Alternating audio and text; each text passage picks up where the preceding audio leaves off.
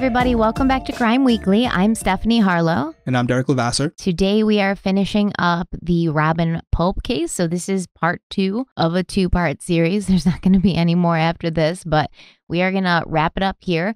We're going to go over a couple more factors or features of the case. We also have an interview with somebody who was on the case firsthand. Why don't you introduce him, Derrick? Yeah, Sergeant David Sexton. We kind of teased it last week. We actually did the interview earlier this week, so we didn't want to cram all this in into one episode and make it like a three hour episode. So we really wanted to take time on certain parts of this case and then get David Sexton's opinion on those things so that we could have a full understanding of the case directly from the horse's mouth before you know spitting out some theories yeah and I, I, really i really enjoyed the interview with him because i had a list of questions that i wanted to ask him as i was going through this case so i was able to kind of get those answered we were able to clear up things with the timeline because we were kind of going through the gigs with the timeline in part one. You guys didn't see it, but there was about 45 minutes of discussion where yeah. we had to go back and forth with different time zones and Oh, it was, it, it, took a much longer time last week to record the episode than usual, but I'm glad we did because now I feel like it's just emblazoned in my mind and I cannot forget it. And then talking to um, Sexton really brought that to life for me. So I think you guys are really going to enjoy hearing his perspective on this case. And remember, he was there. He talked to Wayne Pope. He interviewed Wayne Pope.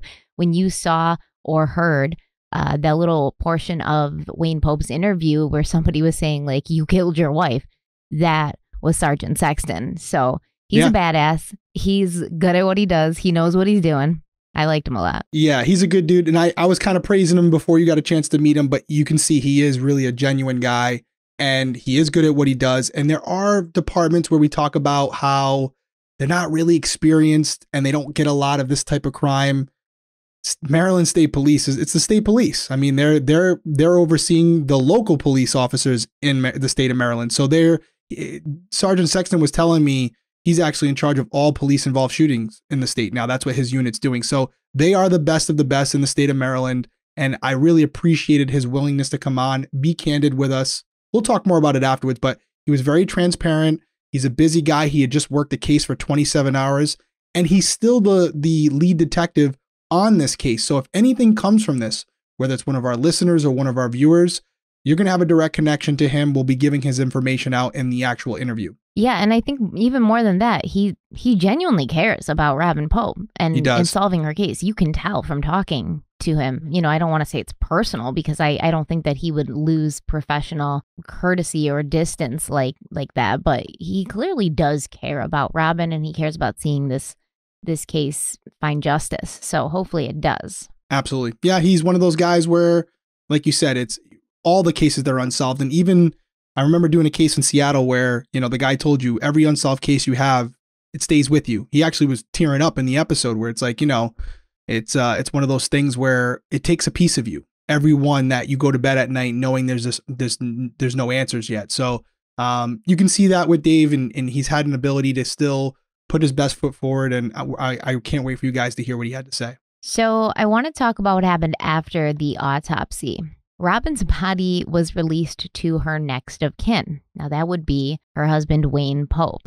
So, when I heard about this part of the case, I was like, this is so bad. You know, I don't think that if it's potentially a suspicion that the spouse could have could have had something to do with their wife or their husband's death, I don't think that they should be considered next of kin. Like I think that there should be some sort of holding pattern or some sort of like secondary next of kin. That way, you know, because what happened after he got her body was he had her cremated, right? Almost immediately. Almost immediately, just within a few days. So yep. what we have here is if there's there's any sort of, I mean, we they did do the autopsy and they didn't find anything because of how long she'd been in the water, because of how um, badly decomposed her body was. However, we don't know with, you know, technology or with a different pathologist or something like that. If she'd been exhumed at a later date, they maybe could have found something. So if Wayne Pope had anything to do with what happened to Robin, he essentially ensured that there would never be evidence of that when when he had her body cremated. And I'm not saying he did. What I'm saying is if he did, that's what he did. so. Yeah, and, and, to play devil's advocate, if I was support, if I was a Wayne Pope supporter, which I'm not, I think that's very obvious. I would I would say, listen, you know, everything you said is right, Stephanie. Technology down the road may have helped it, but let's all be let's all be honest with each other here for a second. It doesn't take a detective or an oceanographer or whatever to know her body was in a really bad condition when it was found. And there's no way you could have a traditional wake with her body being in that condition. So if there were no suspicious circumstances surrounding this case, surrounding Wayne, I think most people would be like, yeah, no, I get why you would have a cremation because of the circumstances surrounding it. But it doesn't make you feel better knowing that the person who's making that decision because of the law, the way it's written, um, is is someone who is probably one of the only persons of interest right now. And he's deciding what happens with basically one of the few pieces of evidence in this case. It just doesn't sit well with anybody who who wants answers for Robin and her family. He's deciding what happens with one of the few pieces of evidence in this case. He's deciding what happens with the body of a woman who could potentially have been his victim.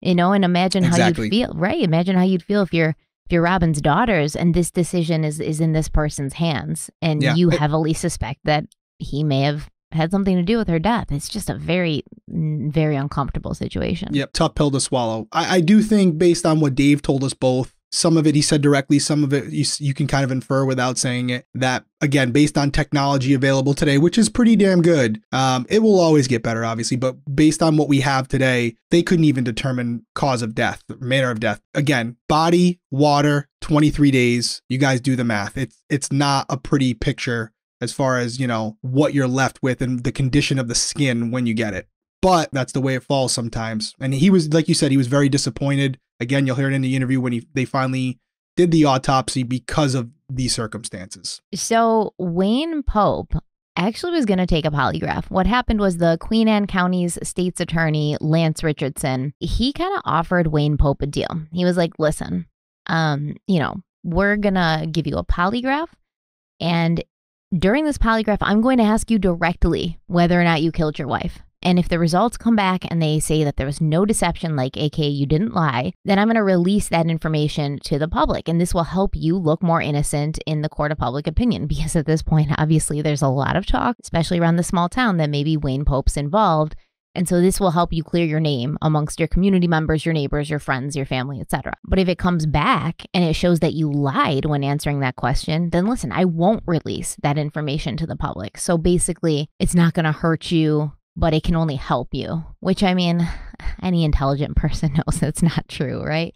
And I always like I really do appreciate law enforcement and what they do in certain in certain cases but i always tell people never take a polygraph test. Never take a polygraph exam. Um, i just don't find them to be super accurate. I think that they're usually just interrogation tools. I've seen them used as interrogation we saw that with chris watts right? We, we kind of did see that with chris watson and the detective who was talking to him from the fbi where you know they were like oh it shows you lied. You know who knows if it did or not but always just talk to a lawyer before you even talk to the police to begin with. But we know that if Wayne had taken that polygraph and if they had asked him, Did you kill your wife? and he said no and it showed deception, that's still going to make him look bad and that's going to add to the case of the state's attorney as well as law enforcement. So Wayne agreed to do this. He even showed up that day. They said he was like waiting in the lobby. And then at the last minute, he sort of changed his mind and he left. And Lance Richardson said, you know, that invitation is still open. But Lance also did say in Breaking Homicide,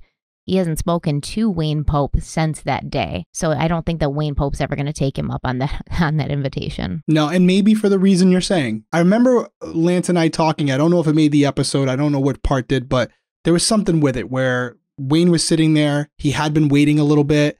His lawyer couldn't make it that day. Something happened with his lawyer. It just like things didn't play out the way Wayne wanted them to, and he decided last minute, I'm not taking it, and he just left. But yeah, you're you're 100% right. Lance definitely wanted it, and he said it in the episode. I know this part made it where he was like, I just wanted affirmation that I had my guy. I didn't need to release it to the public, but I just wanted a little bit more combined with what we already had that he failed this polygraph. And as far as your, you said this to me, you said it many times, your perception of a polygraph, you know, I definitely think it's got its flaws because it's not 100% accurate. There, that's proven. That's not even up for debate. And it's not even admissible in, in many states. So um, it is a tool. So from the law enforcement side, when I throw that hat on, we're not banking our whole case on it, whether you fail it or pass it. You know, we're not going to probably get a conviction based on a failed polygraph. But you're right. It is a tool that we use to let us know possibly if we're heading in the right direction. So if Wayne failed, it's just one more piece of information we have now to say this is our guy. This is our guy. So um, it's an interesting thing that it happened. I found I found it interest, interesting that Wayne even agreed and showed up in the first place. But you know that could have been just maybe Wayne was pulling their punk card, and then when he realized they were actually going to hook him up, he's like, "No, I'm out of here. I'm gone." No, I mean, I, I, I thought, I thought you were kind of on the right track as far as like my opinion of it, which I think he was like, yeah, I'm gonna like be cooperative, but as a citizen of the United States, I know that I have the right to pull out at any time, so I'm gonna go there as if I have this good intention, as if I you know, like an like an aka innocent person would. You know, I'm using air quotes because I have said time and time again, I don't believe it makes you look guilty if you don't want to take a polygraph test. And you shouldn't make anybody or allow anybody to make you feel that you're guilty because you don't want to take one. But I think he was like, let me show them I'm cooperative. And then at the last minute, he was like, oh no, I've changed my mind. I'm nervous about this. I'm anxious about it. And he has the right to do that. So it, it, can't, it can't really hurt him if he if he does this. It looked like he was going to do it. And then all of a sudden he pulled out at the last minute. So it doesn't make him any more guilty or look any more guilty than he looked before, essentially. I, I would I would argue the one thing is I agree with everything you said, but I bet you there are people, I'll even say it, myself included, that are like, yeah, he didn't want to take the polygraph because he knew he was going to fail it. And so therefore he looks even more guilty to me. Like you refusing to take it. I'm just talking for myself, No, not for I agree, Stephanie. yeah. You you choosing because I've had many people where I'm like, oh, I'm gonna hook you up to a polygraph, and they're like, absolutely, where's the machine? I'm ready right now. Let's do it. And I'm like, nah, I don't want to give it to you now. You were too willing to take it. you know what I mean? I'm like, ah, I'll pass. But so for me, him not taking Oh, it, that's sneaky, man. it's true. It's true. True. Because listen, we didn't have a polygrapher on our our staff. We're a smaller department. in, right? Oh yeah, money. So I would be like, hey, listen, man, we got a polygraph examiner in the next room. Machine's ready to go. Um, would you be willing to take the test? And they're like, yeah, absolutely. Let's go do it right now. I'm like, all right, let me see if he's out. And then I come back. Oh no, he's out to lunch. And you know what? I believe you. You're all set. You can get out of here. So um, you know, I, I do think it does show a little bit of, and this is not just for Wayne. This is for anyone. When someone's completely against taking it, it does make me wonder, like, why are you so nervous? Is it because you've done your research, like a Stephanie Harlowe, or you just know, hey, if I lied, this machine's going to be able to tell them, so I'm not going to take it. you know, it's it's all subjective. It's opinion. It's a completely opinionated thing. But we both agree that you failing a polygraph to te- test, not only for on a personal level, but even in the eyes of the law, doesn't hold a ton of weight anymore. I've, I've always wanted to get hooked up to a polygraph like machine, not not in an actual investigation. I, please. I, dude, I did it. I did it. It Because was, I it would was say no. If the cop was like, "You want to take a polygraph?" I'd say absolutely not. And then if it's Derrick, he's gonna be like, "This girl's guilty, man," because Mm. I would say absolutely not. I'm way too paranoid, but I want to take it just to see if I can like lie Deceive and get it. away with it, right? and there and there are there are there are tactics that you can use. You can Mhm. take medication. Some people in the past for FBI exams, like when they're applying for the FBI, would put a thumbtack in their shoe. And what you would do is when you were answering even honest questions, you'd step on the thumbtack, which to increase your out- baseline, right? Yep. Yep. To increase your baseline. So there are things around it, but they ask you questions like, have you done anything to alter the test today? But I did take a polygraph test for multiple things, um, for some federal jobs and also for IDCon a few years ago where they had a polygraph examiner there. It was more for fun. But I was genuinely nervous because he was asking me questions that I wasn't prepared for.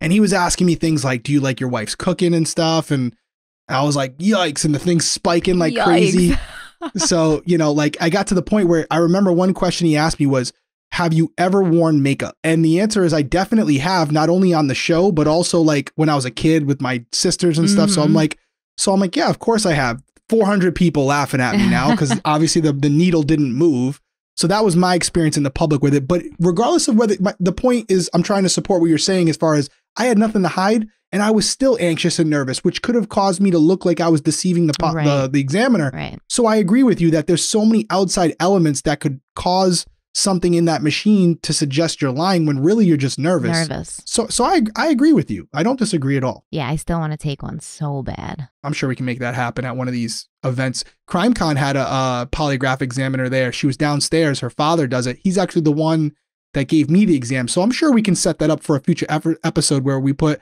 Stephanie Harlowe on a polygraph exam and I get to ask the questions. Oh please, I will. I will beat it. Like Oh, I'll put money on that because one. I We'll- remember we were talking to to Sexton too, and he was like, "Oh, you know, when I was interrogating Wayne, I, you know, he seemed genuinely and sincerely to just not have any idea what I was talking about. Like I've interviewed people. Some of them, it's clear when they're lying. You know, he seemed to genuinely believe it when he said, No, I had nothing to do with this. And I said, Well, some people are just good liars. You know, some people are just really good at lying. And he said, Absolutely. Yeah. We we got the opportunity to watch the interrogation footage. We didn't include the interrogation footage uh, in its entirety for copyright reasons in the episode, but you you got a screenshot of it and you can hear it. He he's he's not bad. He's pretty he's pretty cool, calm and collected for sure. And His and body Sexton language pushed was him. open. I felt like Yep. you know he was Yep. kind of just like like very. But you know, some people are just super good liars. Like they are so used to it. It comes so naturally to them. It comes natural second to breathing. And then I'm sure we all know at least one person like that that they've lied to our faces, and we've been like, whoa. Like usually I have a really good hold on when someone's being dishonest with me, and I never I never knew. So it's just We- uh, all sorts. We want to hear, we talked about that a little bit. We want to hear what you think. Comment down below whether you would take a polygraph test or not if you were innocent. If you get brought in for questioning, you know you're innocent. Would you take the polygraph exam and tell us why or why not as far as if you would take it? And, I think and that's this is a interesting to see. murder, okay? So someone Oh, yeah. thinks you've murdered someone. That- you know you're innocent. Would you take Yeah, a polygraph? Would you would you take it and whether you would or not, tell us why. yeah, I think the comments are going to blow up on that one. Yeah. And I think they're going to be on your side for sure. I think so. Oh, 100%. You might actually win one this week. It's great. I mean, I usually win. Oh God. They just don't want to hurt your feelings. They know you're more sensitive than I am. I am. I am Yeah. very sensitive. Well, I want to talk about the oceanographer because you had interviewed her on Breaking Homicide for this case. You guys actually like went out in the boat. Looks super cool. Mhm. I love going on boats, but um, I forget her name. Refresh my memory. Dr. I believe it's Cecily, Dr. Cecily Stepp. Her Stepp, da- last name is definitely Stepp. Mhm. Yeah. So she said that that night that Robbins believed to have gone in the water, the tide was very strong and it was Mhm. pushing down the bay. But she also said that Robin's body should have reached its final destination within just a few hours. Yet she was not found until 23 days later. Now, there's a few reasons this might happen, a very few reasons why this might happen. None of them look good for Robin. Can you talk about No. that a little bit more? Yeah, so she really this wasn't just for TV purposes. This woman is brilliant. She teaches or she's a professor at a local um I want to say like there in Annapolis there's like a military base there, like a naval academy. She's like teaches there. She's like she's one of the best of the best. Nobody knows that water better than her. She looked up the date and time for the currents for that area, the temperatures. She really was like if I'm going to do this, um I want to know everything about it cuz that's my reputation. So we were- we loved her. And you know, the the going out on the boat was you know, it really didn't do anything for her that day because she was looking at past data, but it was more for TV and it was a cool it was more it was a cool shot and it was also a different angle for us to look at the dock, which we did want. Um and yeah, as you said, there were a few things. First, the obvious thing. If you go into the water, regardless of how buoyant you may be, if you're conscious, you're going to float to some degree. Um, however, if you're unconscious or already dead, you'll more than likely sink because you're not, you know, taking in oxygen. And so she believed, based on the current, as you just said, she, if she was awake and coherent, she most likely would have floated right to the destination where she was eventually found, like a Bella, who died of hypothermia. Um, but because, and this is in uh, Dr. Stepp's opinion, she believes she went in the water, and at that point, she was either unconscious, severely injured, or already dead. And that would that would explain why she not only went in the water, sunk immediately to the bottom, and then she got caught on something at the bottom. Because although it's you know the water, there are things that get thrown in afterwards. There's rocks, there's trees, there's all these different things that she can get caught on. So in her opinion, what happened was she immediately sunk to the bottom, got stuck on something. The gases filled up in her body as decomposition started to take place, eventually causing her to come off the object she was stuck on, bringing her back to the surface, and then having her go down the, the water through 23 days later in direct in whatever direction the current was going on that particular day. So I just want to clarify some things because I, I remember this is very similar to uh, the the Laci Peterson situation. Um, what happened, especially here, because it's March, so it's beginning of March. She goes missing, and she doesn't, and Robin doesn't resurface till towards the end of March. So it's cold. You know, it's Maryland. It's it's very cold in March. It was very cold that night, and that has a lot to do with why the body wouldn't resurface as well So you said if she went into the the water and she sinks immediately, which is what the ocean the, the oceanographer believes happened because it took so long for Robin to resurface. And if she had gone in the water when she was alive, she would have been pushed by the current out and she would have come up a lot sooner, just like Bella did. So she goes in the water. She's either dead when she goes in the water or she's unconscious to the point where she's not going to be taking in a lot of oxygen. So her body's Mhm. not going to be buoyant and it won't float. She's going to sink right away. So even if she went in after a blow to the head or something that made her unconscious, within a very short time, she will be dead because she's not conscious enough to swim and keep herself afloat, right? That's kind of what you that's kind of what we were what we were going over. That's the what we believe happened. That's the reason. Yeah, think about it this way, guys. You go into the water, you're at the beach or whatever. What are you doing? You're swimming around, you're playing, but you're breathing. So there's air in your lungs. So even when you uh, someone's drowning, there's usually air in their lungs while they're in the water. If you're unconscious five, ten minutes or dead five or 10 minutes before you're put in the water, you've exhausted all that air out of your lungs. So therefore, you're just, no pun intended, but you're dead weight, right? You're, you're just, you're just, you're just a body at that point. There's not much to keep you buoyant, to keep you on the surface. And just like a lot of things you would think if she went in the water and she was alive and she was swimming and trying to get back to shore, she probably would have floated down to where she was eventually found. Because even when she was found, if you remember from the first part of this, she was found on the surface.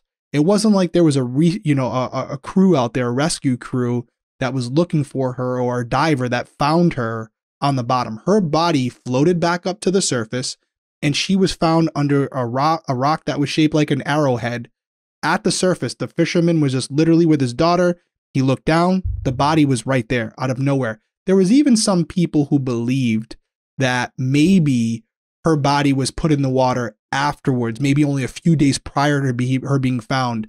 And that was not only discredited by Dr. Uh, Sergeant Sexton, but even when I asked Dr. Stepp about it, her body and the level of decomposition based on how cold the water was was completely consistent with her being in the water for that duration, that 23 dura- day duration. Yeah, and I think that's important because I truly believe, and we're going to go over theories, what we think might have happened at the end of of this episode, but I truly believe if she'd gone in there alive, being a strong swimmer, she lived on the water, she was very very physically fit, strong.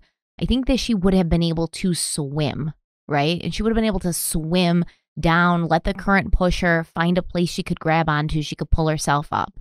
That's not what happened. So I 1 million percent believe when she went in that water, she was either dead or unconscious. And you also have to think if she's unconscious when she goes in the water, what is she not going to be doing? Holding her breath to prevent water from going into her lungs. So, like I said, within a couple minutes, even if she's not dead when she goes in, if she's unconscious, she'll be dead very soon because she's not conscious. She's not awake to know that she needs to be holding her breath and not letting water just go into her mouth and her nose. Absolutely. One thing here and there, you think, oh, maybe she could have jumped in, but we talked about it last episode the heels, the blouse, the fact that it appears based on science that she sunk immediately. All these little things in totality paint a pretty good picture, which is when she entered the water, she was either severely injured, unconscious, or already dead. Nothing that we found, and we're looking for outliers, nothing that we have found to this point suggests in any way, shape, or form that whether, you know, that Robin Pope went into the water under her own will. Nothing.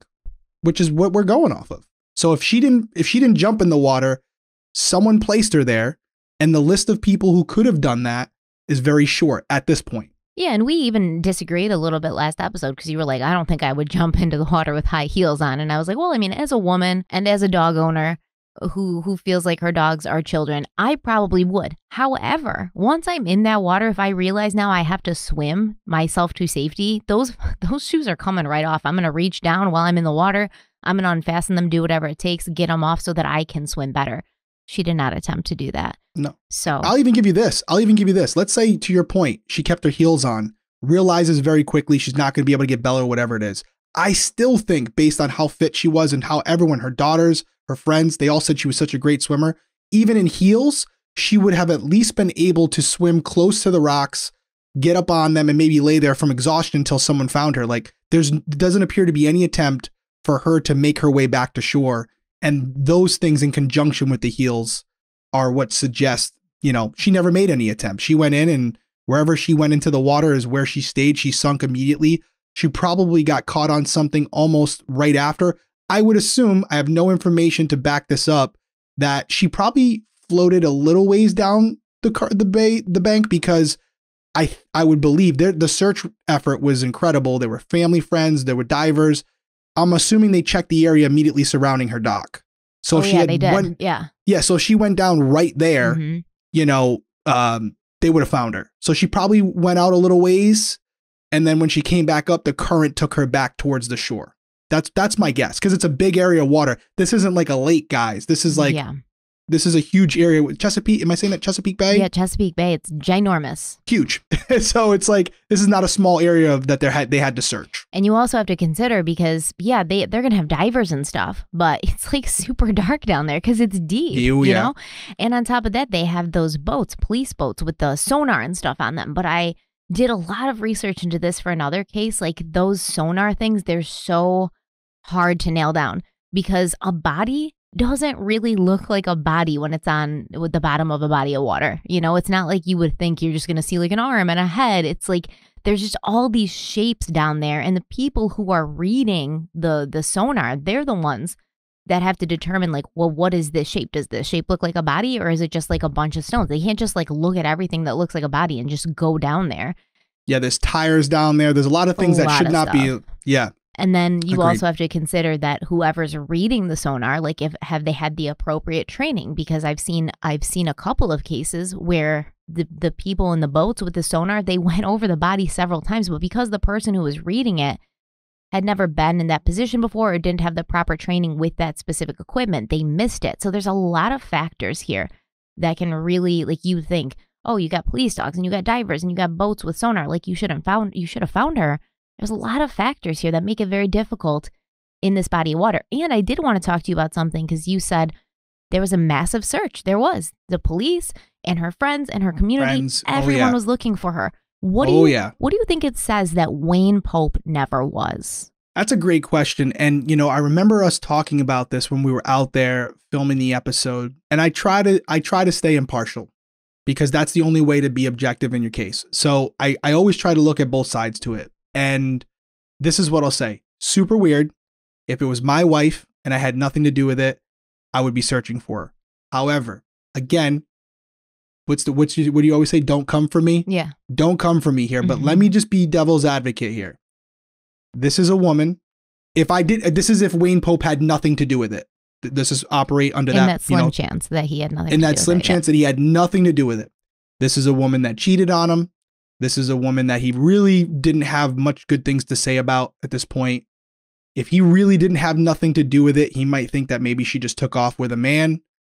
And also take away those uh, factors, even though there was nothing to implicate him directly at that point, it was very well known by friends and family. They all thought he did it. They all, everyone thought he did it. So if I were that guy and I didn't do it, to go out and with this search and rescue team when they're all under the the assumption that I killed her, um, I, I think it would be very awkward. So I could see the reason why he wouldn't, but my mindset, if I didn't do it, would be in spite of that to go out there to prove that I really, in spite of what her and I went through, we were together 20 years.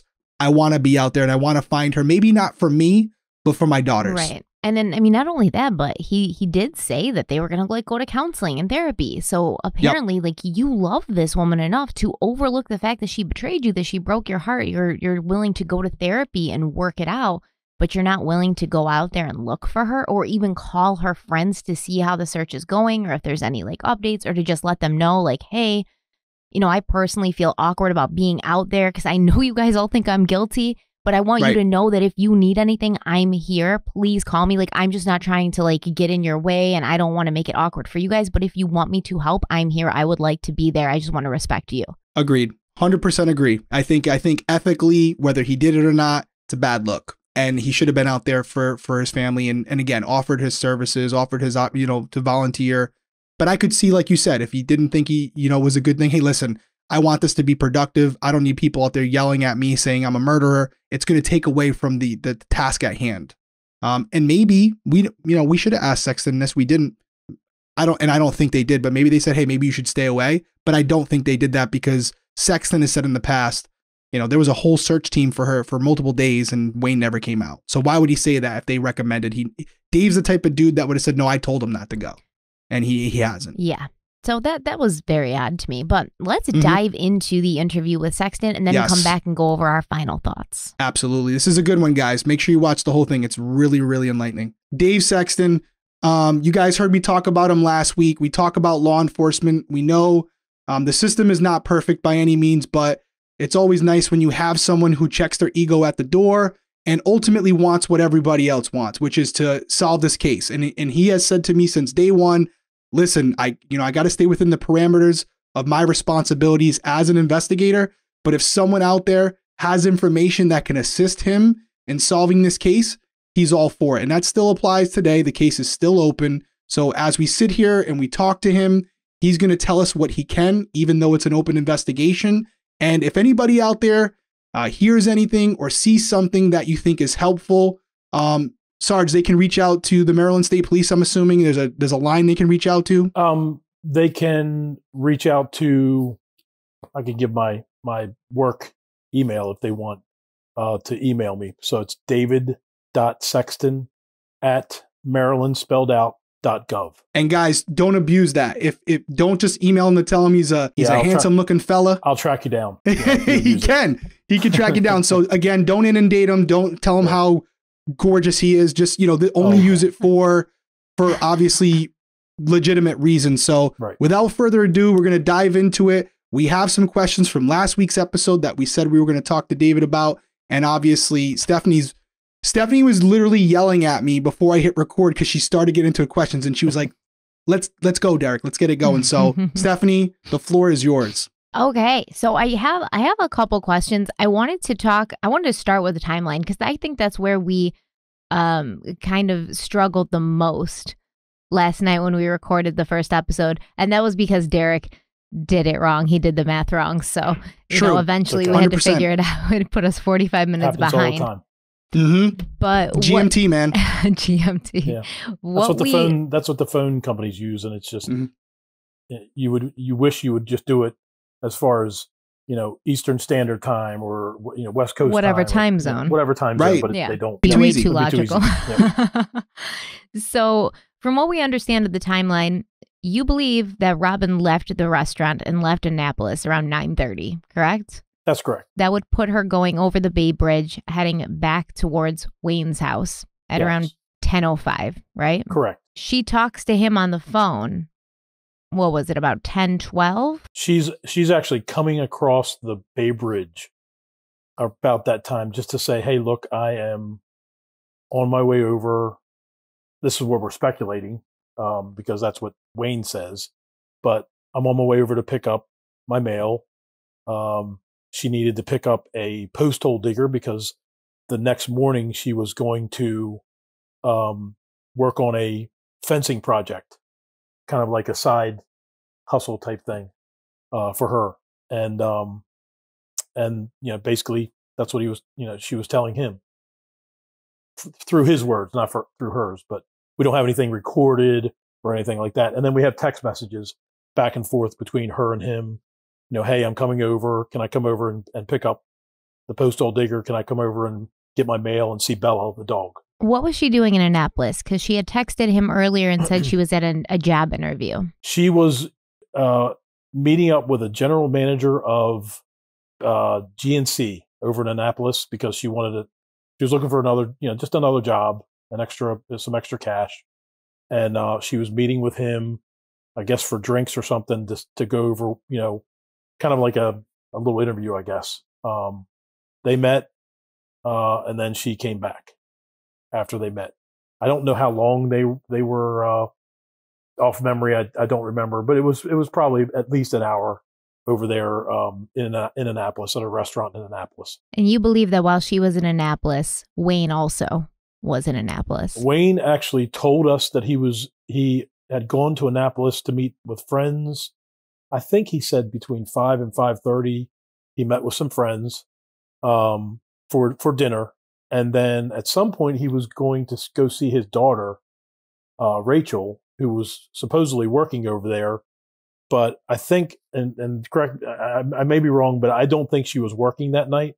But basically, she told he told us that he was going to go drop off some food for her. And Rachel, when we talked to Rachel, says, "Well, my dad really never really never drops food off to me." Um, but then we found out pretty much we were pretty sure that he was he wanted to find out where Robin was because he knew that she was could be out with another man um, because of their their problems in the past. So they were separated, of course, because of of of their the marital problems.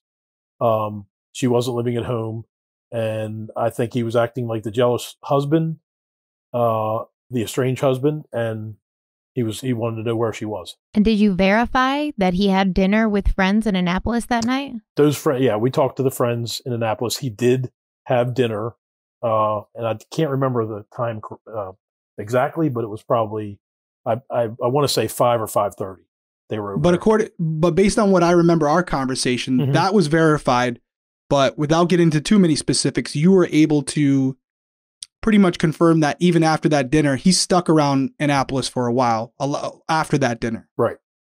And so, and and that correlated with the time, just so happens to correlate with the time that that's when Robin was there as well. Correct.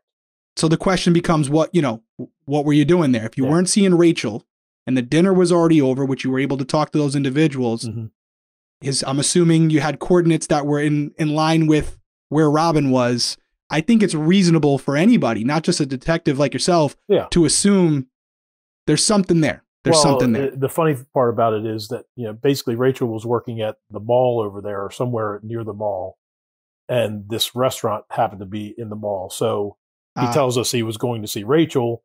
And I can't remember the name of the restaurant. Interesting. Me, but, um, or, or the, or the, the area of the mall. But, um, you know, basically that was his I guess alibi, alibi for being yep. over there to see Rachel. But I don't think I think we came to the conclusion that Rachel wasn't even working that night. She was actually with friends somewhere.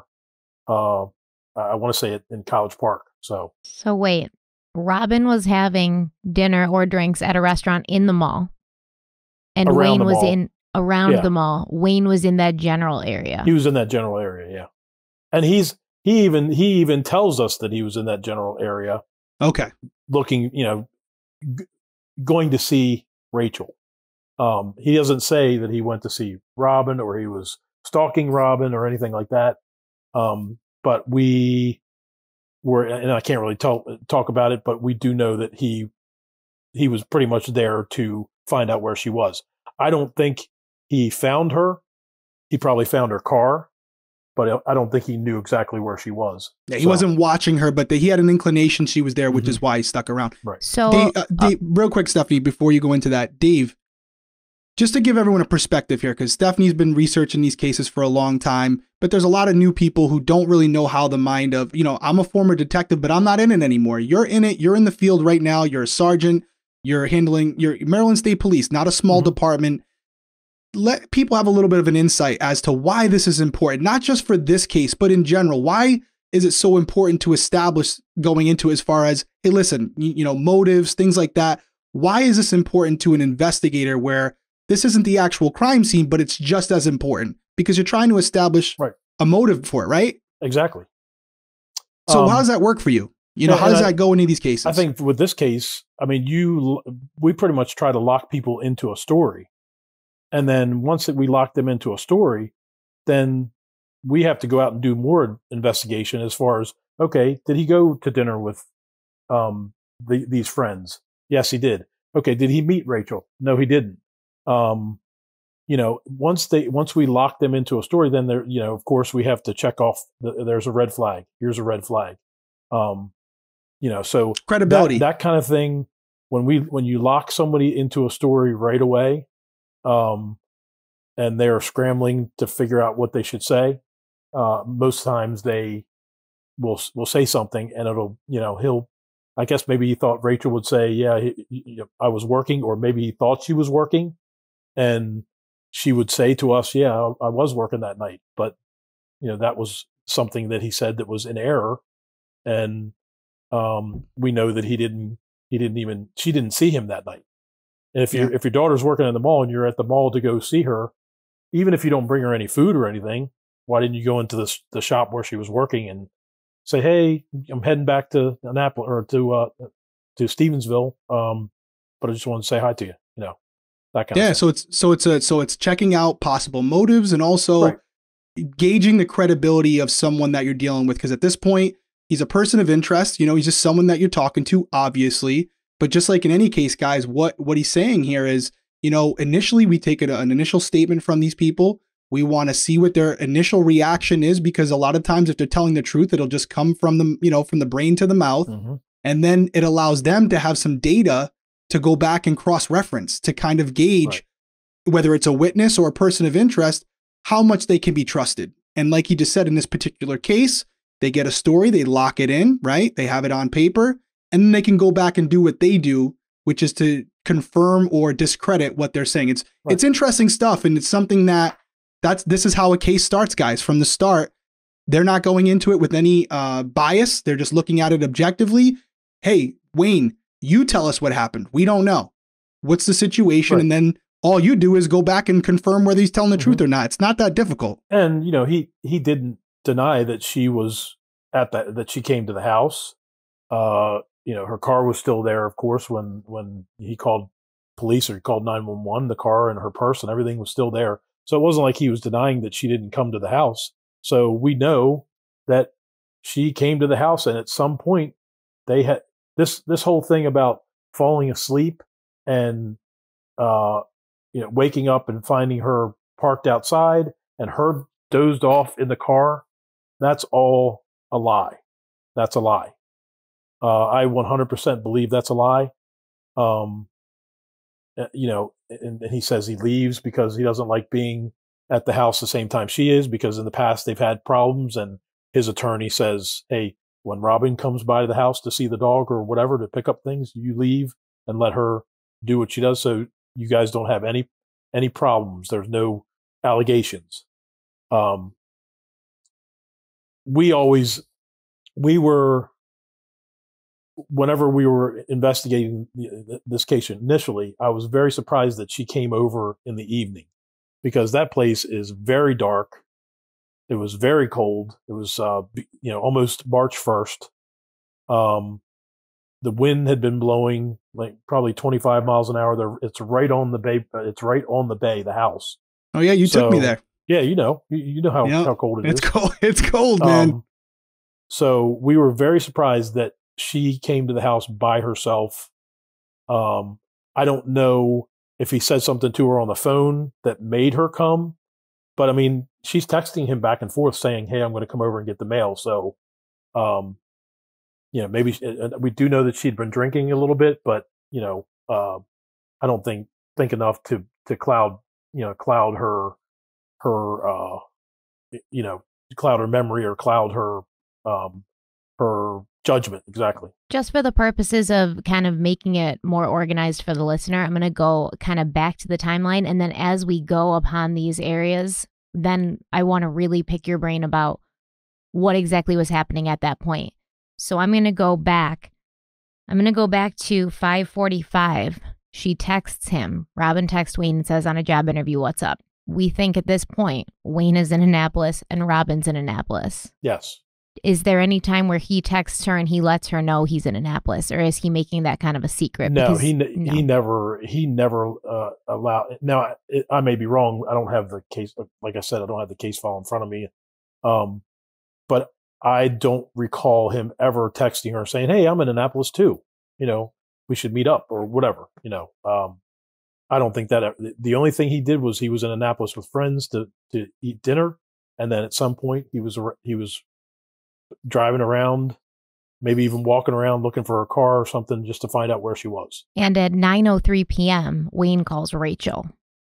Is he in Annapolis at that point? I don't recall. I think he was in Annapolis. I'm not. I I don't recall that at all. I'd Do you know what he talked the- to her about? No, Not off the top of your head. Okay. not off the top of my head. No, nothing that gave us any kind of red flag as far as conversation. Okay, so when she's driving, she gets there.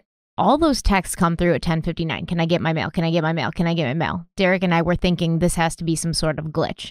She couldn't have texted them all like that and sent them so quickly? Was it a service glitch where because it's so isolated, the the phone dropped service and it didn't send the texts until the service kicked back in? Or was Wayne's phone off? So the cell phone records aren't going to show that those texts came in until 1059 because then the longer text comes in right after that as well. Um, I I think that it was a service glitch because that area, the cell service is terrible, right on that peninsula. Um, and you know her cell, even if his cell phone was off, her cell is still sending the text messages. So I think it was I think it had to do with serv- with the cell service itself. And if it was, I know with the kind of a storm go- coming through and the wind and everything, I, that that definitely has um, more problems. My dog decided to come. um, Canine sad, man. He's hearing he's hearing about the story. Okay. Um, so uh, as far as uh, the text messages, the times, I think that was that was definitely service oriented. Cell tower. You know what's interesting, Dave? It be, and I and it was something that Stephanie brought up when we recorded part one, and it's a really fascinating theory, and I think it has some credence to it because I think a lot of people, including myself, you know, the assumption is that it was a service thing where she didn't have service, and then or he didn't have service, and then all of a sudden there's this blast of these four texts that were probably sent further apart, but they all went through at the same time. Right. But just to just to entertain the idea for a second, because again, you got to think of everything and explore all possibilities you know, what if, what if he had shut his phone off for a short period of time so she couldn't call him?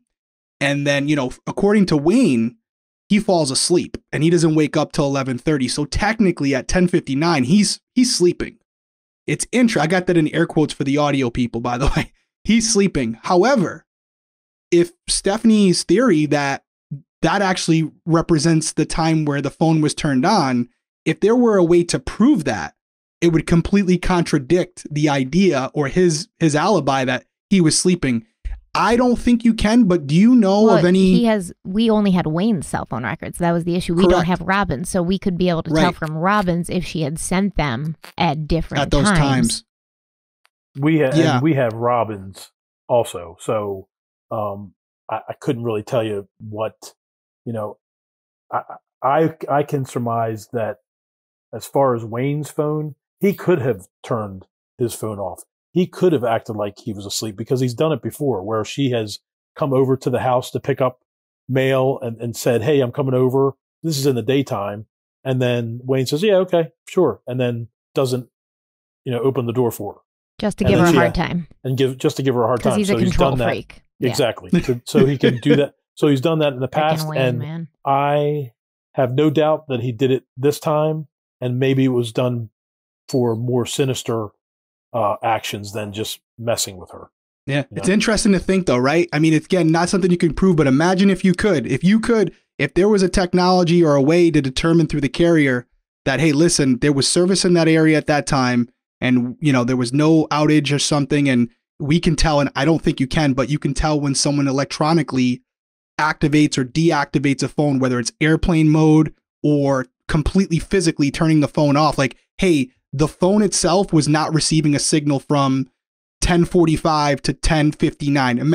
Again, I don't think it's possible, but when she brought it up last night, I said, Ooh, you know what you're saying there, right, Stephanie? You're saying that if you're right, that shows right there, even though he's trying to play the whole I was asleep, I didn't get it. Those text messages coming in succinctly like that could represent a time where he was active on his phone. You know, you know, you just it's mm-hmm. an interesting question to pose Unfortunately, we may not have the answer, but again, and it's I'm glad you brought it up. We don't have Robin's call logs, and and and for good reason. You have them, but um, I'm sure people are going to ask us like, oh, you know, did they cross reference Robin's text messages and phone calls with this? And I'm assuming your answer would be, oh yeah, yeah, you yeah, guys, I mean, we, you guys looked into that. Yeah, we do. We ha- we looked extensively into those um those uh cell records. Um, just because we we couldn't interview Robin, of course. So basically, our interview for, for Robin was her text messages. We know we knew that she was out with you know a job interview. We knew she was. She asked Wayne if she could come. She could come over.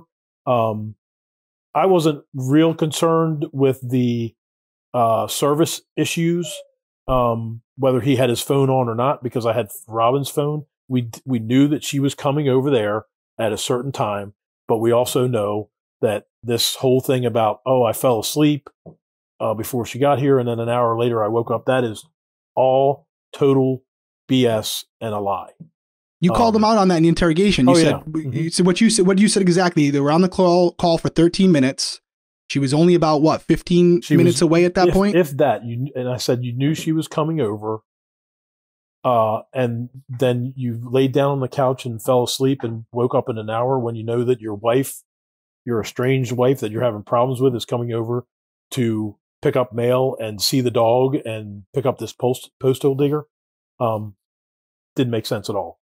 Now I can understand if she was an hour away and you fall asleep, but he was on the phone with her back and forth texting and he knew she was coming over. So, um, you know, I, I wasn't real concerned about the, the timeline with the service glitches because being you, over you there, already came to the conclusion Oh, yeah, he wasn't we had- sleeping. We, were having problems with service over there when we were over there doing search warrants and things like that. So we know that there's there was a delay.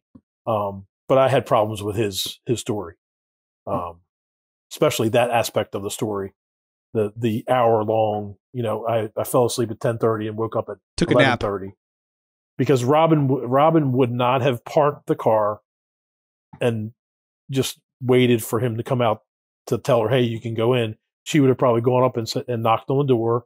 Hey, where's my mail? And then, of course, he did the, the same thing that he's done in in the in past history.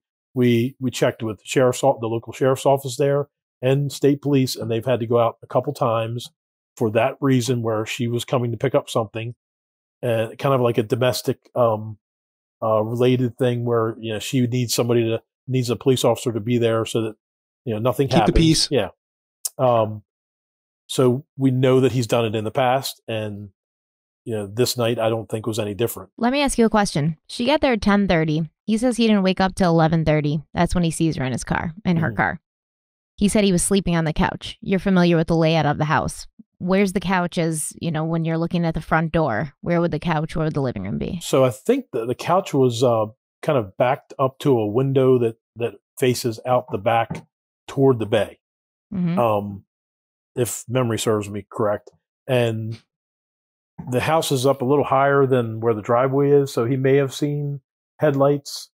Um, well, what I'm thinking is he would have like he would have seen or heard Robin knocking on the door. she would have knocked on the door and Bella's inside. The dog's going to bark. I have dogs. Every time somebody Right. walks up to the house, they go crazy barking. Mm-hmm. So we're to believe he's asleep on the couch and she's obviously going to knock on the door. She's not going to sit in her car and wait for Right. him, like you said.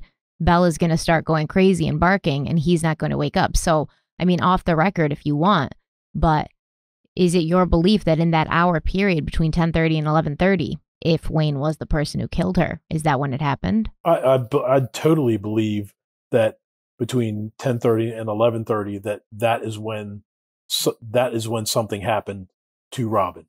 Um, whether it was, and I know we've talked about it uh, before, Derrick, as far as whether it was a terrible accident or whether she, he got into a fight with her on the, you know, got her to the the pier and pushed her in, or maybe knocked her over, maybe knocked her out and threw her in.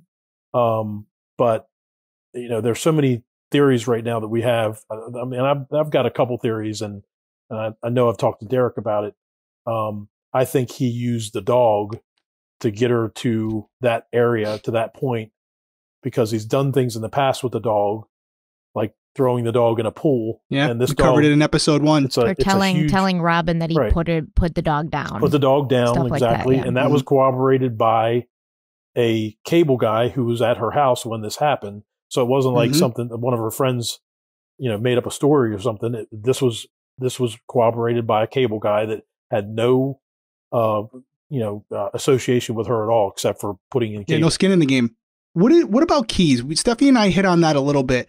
You know, they were together for almost 20 years. He- She was living there with him before this whole incident went down. Were you able to establish whether or not she still had keys to the house or whether he switched? I'm assuming he might have switched the locks. I I believe, and I I, uh, I can't say you know 100, percent but I Did- believe he he changed the locks so that she wouldn't be able to get in. That's why she had to call him all the time. Yep. to make Yep. sure that he was there so that he could open the door for her. You know, so right. And she left the keys in the car. Whenever she got out for whatever reason, there was a reason she left the keys behind because they were useless at that yeah, house. she wasn't going to use the keys to, for the house. No. I want to ask you about Wayne's trip. And there's a, there's a few reasons I want to ask you about it because Derrick and I were going over it yesterday. The timeline doesn't really make sense to me. Now, one of uh, Robin's friends, I keep oh Debbie, she says Wayne comes to her house around like 1.15 in the morning, Yes. and and he's asking her, "Have you seen Robin?" Wayne's at the 7-Eleven two towns over at 1:07 a.m.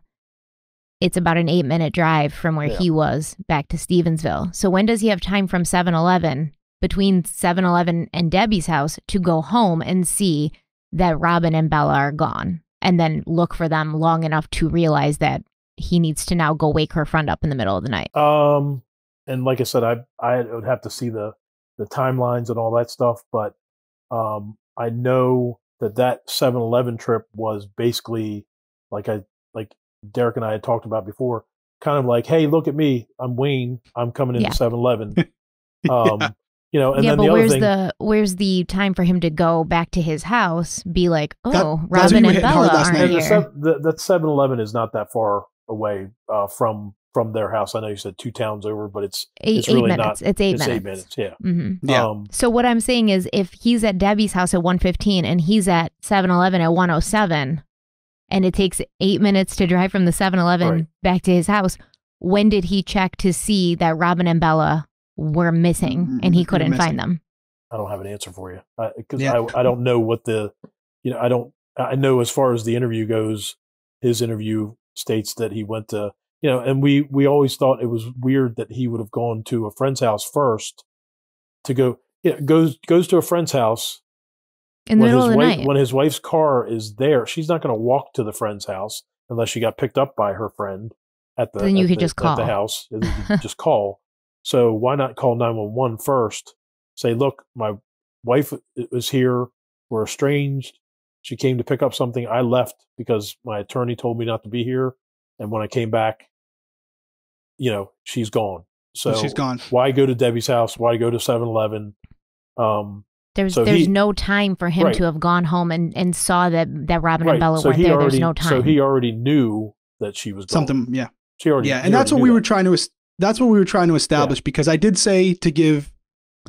I'm not trying to give Wayne any out here. Obviously, um, I said in the episode how I feel about it, but you know, it's one of those things where even if the timeline is a little off, where he didn't go to Debbie's till like 120 or 130, like I, I was saying No. to, I was saying to Stephanie, you know, sometimes the times the recollections can be off five or ten, maybe even 20. Some people are really off, but to Stephanie's point, even if it is, to go home, see that she's not there, look through the house, look at the doc, Look look, you around. know, process Yeah. process that. Hey, something's not right here. I need to go talk to someone. It, it's going to take longer than ten minutes. It's going to be a series of phone calls and text messages to her first. Then once you've tried everything, Which there were not.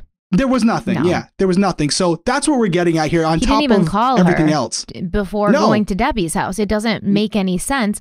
And then he calls her at what, 1.30 or something, 1.40, and he says, call me, texts her one, too, call me. 128, call me. yeah, Why did he do that? As far as you remember from interviewing him, wouldn't he have looked inside of her car before figuring out she was missing and saw that her cell phone was Her in cell there? So why was would there he be with the- why would he be texting her? yeah, I, I, I, I don't know why he'd do that. I know maybe at some point, maybe he just thought, hey, maybe I better call her cell phone and make it look like I'm, you know, I Well, want to know where obviously, she yeah. is. Now I don't know.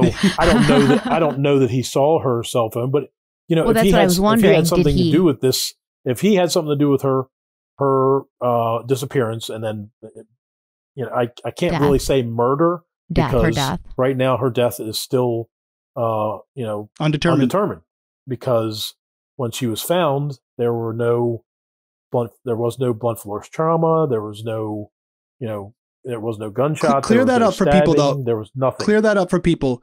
It's not that that didn't happen. Her body was so badly decomposed it was unable to be determined. Right? Right. That's that's. Right. It's not what guys. What he's saying is, and it does say like there was no blunt force trauma, no stab wounds, no nothing No like visible. that. It Nothing no visible. visible. Doesn't mean it didn't occur. It just means that she was in the water for 23 days and the the coroner, the the doctor was unable to determine if those injuries existed Mhm. because of how badly the body was decomposed. Big difference there. Yeah, there was nothing. There was nothing outwardly observed. Um, now, was she struck on the head and knocked out, and then fell in the in the bay? If it was something minor, then you know, of course, being in the bay for that long, you wouldn't see any kind of bruising or anything on the skin, anything like that. So that's what we're looking at. I mean, that's what we think happened that she was either struck or pushed in, uh, and she's struggling. It was very cold. The water was very cold. Uh, maybe got disoriented and Still wearing her high still heels. wearing the high heels. So, um, you know, definitely they think that she was alive when she went in, but that's still undetermined because a lot of times, um, you go in and even if, even if you're, let's say that she was knocked out and breathing shallow, you know, had some shallow breathing or not breathing at all, um, that much time in the bay, you're still going to have a little bit of water inside your lungs. So that's why it's all undetermined. Um, believe me, when I was elated when we found, when we, when the body, when her body was found and then dejected when I went to the autopsy and there was nothing out outwardly, there was nothing to show that she had been murdered or that it was a homicide. So that's the whole problem with this case is that, you know, Water, man. Yeah. Water. It's a bitch. Mhm. It's a bitch on when it comes to a homicide investigation for sure. Yeah. And like I said, there are so many red flags with him, um, not wanting to take the polygraph and telling us he was going to take the polygraph and his timeline with the set, like you said, with the 7 Eleven and going to his parents' house, nobody seeing him, you know, that all, uh, Yeah, that's, that's all, those are all red put- flags and he had motive. He had opportunity. Um, Mhm. there were no witnesses at all. Um, with the exception of people the next morning, with, you know, look, you know, watching what he was doing once her, once the dog was found. Like I said, I don't know if you ever touched on the dog, but the dog was Yes. found, um, the next morning and it was determined by a vet that the dog didn't drown. The dog died of hypothermia. So the dog was able to get to the banks of the bay, but because of the riprap, the big rocks and things like that, and because of how old Bella was, she was almost 10. Um, and for a big dog like that, um, that's very old. She, she was Yeah. very old. Uh, yeah, Great she Dane's life just- expectancy. She probably couldn't even get up, or maybe she was trying to go back for Robin. We don't know. When he um found the dog, well, he didn't find the dog. His neighbor did. She said he looked at at the dog once. He made a comment like, "That's not the worst of it. My wife and my dog went missing yesterday." He walked away. Yet later, he told you he sustained these injuries on his sides, the bruising and the scratching from trying to get Bella out of the water. But we know from Elaine Jerry that's not what Yeah, happened. It- it- the, the neighbor said he never once uh, reached down to pick, try to pick the, the dog up. That somebody else did that. He didn't. He didn't do that. So did you ever say to him, Wayne, that was a lie? How did you really get these these injuries? How did you really get these wounds? Because I mean, Oh, yeah. we're I've, I've been keeping track. We're at like four Yeah. lies right now, just Yeah. straight out. Yeah.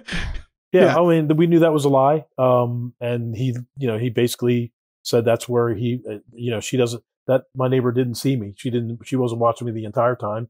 Um, I did, you know, I did try to to to go down and, and pick up Bella, and we know that that was a lie. So, so the other speculation is maybe that he he got that injury from being on the edge of the pier, whether he was pushing her in and he fell or trying to keep her from coming back um, because the water was up to I think it, at the time it was a low tide, so it was only nine feet deep. Nine feet. yeah. Yep. So um, I don't know how I remember that, but um, must It's a have been, good Must have been from Breaking Homicide because that's what I remember. No, I had to look it up. Yeah, So you're better yeah. than me. I we had to look at. I had to Um, rewatch the episode too. So uh, maybe fighting with the dog or trying to trying to throw the dog in.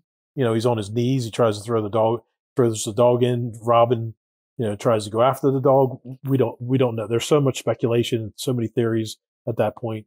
Um, what we do know is that he was there, and he probably had something to do with her her death. He told uh he had mentioned to Debbie, I believe, Robin and I are working things out. We're going to counseling. We're going to therapy. Was there anything in her texts, anything that you heard from her friends or family that suggested Robin had agreed to try to work things out with Wayne, or they were attending some sort of therapy, or she'd called or had an appointment for some sort of therapy? Anything you came across of that nature? I want to say, and this is uh, this may be completely off, but I do remember that I think initially they wanted to do some kind of counseling. Wayne didn't want to do it, and then all of a sudden, near the end, before her disappearance, I think um, he was suggesting counseling, and she didn't. You know, it was basically, you know, they did not want to. They never did counseling unless they did it in the beginning. But um, uh, I know through talking to friends, and I, I, you know, it's been a while since I've, you know, uh, talked about that, but uh, I know that at some point Wayne did not want to do counseling at all. Um, he was just he was so incensed by, you know, her inf- infidelity that um, uh, he didn't want to do anything. And then maybe later on they they tried to work it out. And then of course, you know, I think anybody that she met, any any if she, he found out about her meeting a guy for dinner or anything, that was that just brought all that back. So was she dating somebody at that point? Because I, I'm sure at this point she and Rob were no longer in contact. No, they they were not. Um, he uh, Rob had a fiance, so he basically he was like, and I think Robin thought that Rob was going to stick around, and he and he didn't. Um, once it was all out, uh, you know, of course, that's that relationship stopped as far as uh, anybody knew, uh, I, I don't know of anybody. So, do you think that maybe Wayne was upset because he had chased her boyfriend away? Maybe thinking that this would cause her to sort of reconcile with him, and then when it didn't, he couldn't even say, "Well, it's it's not it's no longer because she's with somebody else. It, it truly is now that she just doesn't want to have anything to do with me." Do you think that that could have maybe triggered him a little bit towards the end there? I think the the whole infidel- infidelity was the one that, that was the thing that triggered him, um, and him not. But you said he wanted to work it. it out at some point. That he wanted, even after finding that out, he wanted to go to therapy, or he was willing to at Yeah, one point. well, but then she no longer was. yeah, I I don't think any any therapy would have helped either No, either No. of them. But um, I think he was just more incensed about, you know, and maybe it, that could be, a, you know, I, I don't know what was in his mind as far as his marriage goes, as far as if, you know, he breaks her up, if if he breaks up the boyfriend relationship, and then maybe she'll come back to me type thing. I don't know, maybe, but um, you know, I, I think the main thing was that it was her infidelity, and you know, um, just from you know past history, talking to friends about how he treated her during her cancer and, and things like that. Um, he was a he was definitely a control freak and um, you know not real nice to his wife who had breast cancer. So, and that's just from friends. That's that's not. I never heard anything from Wayne. Right. That's from her her friends. getting getting away from the character of Wayne for a second and really focusing on something tangible, right? Evidence, right? Something that's objective, something that tells a story, whether you want to hear that story or not. To me, is is Robin's blouse, and I thought that was a you know, there's not a ton of evidence that's been released publicly, but you guys might have more, which is fine. But as far as the blouse, what was your takeaway from the blouse? The fact that it was found perfectly intact. We talked about this and yet it was completely inside out. And the blouse, correct me if I'm wrong, was found right around the same time that Bella was found. Maybe it was a day later or a day before. So it was I a forgot if couple it was weeks Bella. after. Mm-hmm. Okay, so it was after, but but it was well before Robin was found, and before. again, a week Mm-hmm. before Robin was found. But yet it was in a completely different condition as opposed to some of the other things she was wearing. Closer to where Bella was found. yes, Right, it was- correct. it was- so it followed that it was same a couple current. piers down. Um, there were so many theories about that blouse. Uh, in talking to guys from from DNR, from Department of Natural Resources, who deal with uh, people that drown in the bay, um, they talk about the currents that are, are that are that come through the bay. That are, they're they're so strong. Sometimes they will rip clothes off and and shoes and things off of of people that are uh, that are in the bay for a prolonged period of time. Um, did they were were Wayne and Robin fighting on the pier, and did that did he grab it and somehow it gets taken off, and then it once it gets taken off, it goes back into the bay and maybe maybe floats or just kind of floats down to where it was found. Um, we had so many people giving us an opinion about that. Um, we really don't know. Um, my initial reaction was that it was probably the bay, the the current, because of how how strong the currents are in that area. I mean, th- we're not talking about we're in a little tributary, um, or little stream off off of the bay. This is directly in the bay. You can see the uh, you can see the other side. You can see the western shore from their eastern shore home. Um, and in between that, you see all those huge ships coming up the channel. So it is they are in the bay. What do you what do you make of so the blouse the blouse we don't know exactly, yeah. but the piece of shirt, the t-shirt or whatever it is that that's tied that's wrapped around her hand when she's found. What is what is Maryland State Police belief on that? Is that a shirt that she was wearing under the blouse or is that kind of an unknown factor at this point where it could belong to someone else or she just picked it up along the bottom of the bag? No, I th- that I think that was something that she wore under the under the blouse. Um and then all that time in the bay, it probably got torn up, up. Torn, torn, torn up a little bit, and um, and then of course it's it it can't uh it, it got stuck on you know stuck on her wrist in that part that yeah. portion of the of the shirt the shirt yeah. we we talked about this when we we did the case and you know it's something that still to me i think holds a lot of weight which is that shirt that was wrapped around her hand and our viewers will see the picture is torn to shreds it's literally almost unidentifiable and yet the blouse itself is in perfect condition.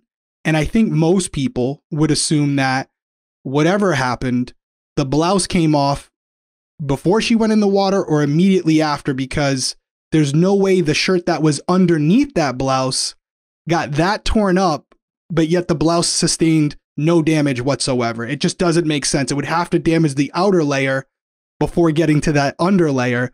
So I don't think anybody, whether you're a detective or just somebody who who watches these things, would say, oh, no, it's possible that the shirt underneath could get torn to shreds, but the shirt that she was allegedly wearing on top of it had no damage whatsoever. Well, my my thing, my theory is that maybe that, that shirt, maybe that blouse came off initially within the, the, the first two days that she was in the water, you know, on the bottom because she was definitely, you know, once a body goes in and once once you uh once you drown, you don't float, you you sink.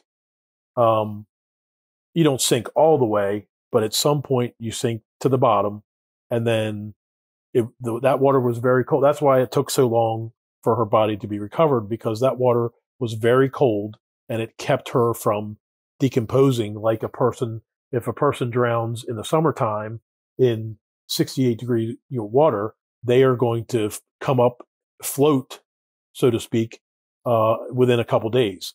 In the wintertime, if you have, you know, sub-zero, you know, temperatures or, or you know, freezing temperatures, it's going to take a little while for the body to float up. Uh, That's what because, happened with Laci Peterson. Yep. Yeah. The same thing. I'm still mm-hmm. I'm still stuck on the blouse with it being not on her body when she entered. And the only reason being is we've all had a button-up shirt. You and I did, you know, obviously Stephanie, where when you have the shirt on, and especially this shirt, because it from the picture when she was alive, it was very tight form fitting. Mm-hmm. If you put a shirt on and you try to take that shirt off, not using your hands and trying to get both arms out of the mm-hmm. sleeves simultaneously, good luck. I yeah. want to take a video of it because I want to see you do right. it. We need to put you on, we need to make you go viral. Right. So for me to have that shirt come off from the current or from rocks and not sustain any damage because it would take an outside force to help mm-hmm. maneuver it off, which I still don't think would be possible to get her arms out of those sleeves. It would literally have to be a perfect situation where right. one arm comes out, than the right. other. So it's my belief, and this isn't influenced by you or anyone, that that blouse went in the water before or after, or after mm-hmm. she was in the water. It, you can come to your own conclusions how that would happen, but that just makes more logical sense to me. Mm-hmm. Yep. Stephanie, did you have anything else? I see your head spinning. Her high heels were they were they heels that were strapped on? You know, like little. I don't know. I don't wear high heels. I hate them. But the the kinds that kind of have this little like strap where you can kind of tighten them. No, they were um, slip on, but it had the it's those heels that have the elastic band that goes around the can't remember if it goes around the Achilles or around the top that kind of keeps your heels on. Like it, that's why we were very at at some point I was like, "What? Gosh, she has her heels on still." But those heels had this this elastic band, and I remember it was kind of a thicker band that kept those heels on. It wasn't like a little strap that you like a buckle. It was a slip on, and then this this kind of elastic strap that kind of kept her foot in there once once Her she put it in heels, and they Uh-huh. were slip-ons. They weren't the ones you can tighten, and they were still on, but the blouse was off. No, the, no. the- what I'm saying is the heels had this elastic band that kept Yeah, them but al- almost like. Well, Where I mean, was her feet it? swell- where, her- where? and her feet And her swell. Her, her her feet, feet probably swell, swelled yep. almost oh, immediately. oh, and bloated from the water. Yeah, yeah. So, So I- almost immediately I within never the had first. any any problem with the heels being on. You know, of course. On. course. Other than the fact that why would she why jump would in the jump water water voluntarily heels with them on? Yeah, You said the her body, her feet are going to swell almost immediately. Pretty quickly, water just like a s- like even if you go in the water but I and mean, you're not alive, after a you know, couple hours, especially if the water's so cold. Her feet are going to get. Well, my thing is if she goes in the water and she's either unconscious or or or really disoriented, she's not moving much. So she might sink to the bottom and just sit there and not move. And then that's maybe 12, 24, 48 hours where she doesn't move and your water your body will start to absorb the water around you and very quickly you're going to start to you're going to hate to say it, but you're going to start to kind of absorb that and you you bloat and then you take into consideration the gases and stuff that takes place over a longer period of time the minute she enters the water, the process of her feet getting slightly bigger slowly starts to occur. yeah. Just like if So you're more- if you're in a pool for a prolonged period of time and your your hands start to to prune and thing, your your Yep. skin's going to start to prune, and especially if you are deceased in the water, your your your skin is going to start to absorb that water, and um, you know, as far as the the heels, I, I don't, you know, like Derrick said, I think at some point during her decomposition, she, the, the the feet are going to swell too. But those those um, heels were on very well. Like they didn't come off um, until we took them off. You know, for, you know, once the the uh, medical examiner took them off. The autopsy. So Yeah. she's Even going to being recovered. Sink. She's going to sink. There's not going to be a ton of movement while she's sinking, Right. bloating from the water. Then by the time she starts moving with the current, when she come kind of Mhm. comes back up and starts floating, Yeah. she's Her already body would fill with swollen gases. to the Yeah. point where the shoes. They ain't coming and like I said, and I wish I could. Um, Yeah, I wish I I- could I know what wish- I shoes wish I those could- were. I can't I- even I'm walk in a- heels I without am them not flying a, off. Uh, a heel expert. Um, Don't lie. I know Derrick is. Me neither. But, uh, Yes, I'm I not- am. I'm not a heel expert, but I, I know that these heels were different from like uh, the little heels where you you you, you buckle them. It had a, a strap that actually kept them on. That Yeah. once they slipped in, they they were they were in. We um we're coming to the end of this, but I want to just take it full circle because we've talked about facts. There's not a lot of opinions going on here. Maybe more opinions bait from me and Stephanie, but you're just telling us what you remember of the case.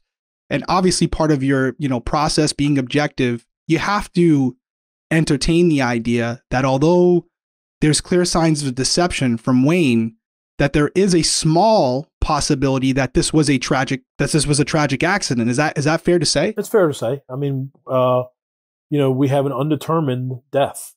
So any anytime you have an undetermined death, you are going to have, you know, of course, with his uh, some of his statements and timelines and things like that, we're looking at something that may may not may be something that he um, he was the catalyst for, but like you said, he maybe he left and she's with Bella, and Bella goes you know she's an older dog and she goes onto the pier and she falls in and she and she everybody that we talked to said that if that dog were to fall in anywhere or need to be rescued uh she would be the first person in the water to go rescue that dog Yeah, so that absolutely. could have happened um it's not the beyond it's not beyond the realm of possibility but um you know we uh, we we have Wayne that's that gives us this you know his story and it's some and most things don't add up especially don't up. after, Yeah. especially from the time that she she arrives, and then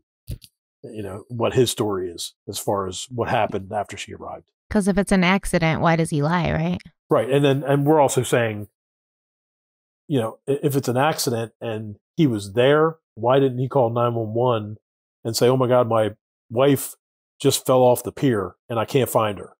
Um, Yep. She went under. the other thing is, okay, let's say he did leave and she was still alive and this happened. That, that I don't believe that at all, but it's not beyond the realm of possibility that something like that could have happened. it's 2013 when this occurs. We're sitting in 2021.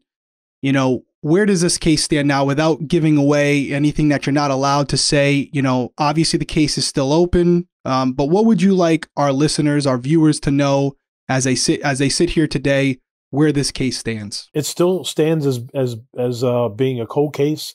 Uh, it's still undetermined as far as the death investigation is concerned. But if anybody has any information about uh, anything involving this case, and I'm not talking about what you watched on a podcast or uh, a show, I'm talking about information that you've heard pretty much from the horse's mouth, or maybe some friends or family that know this the whole situation.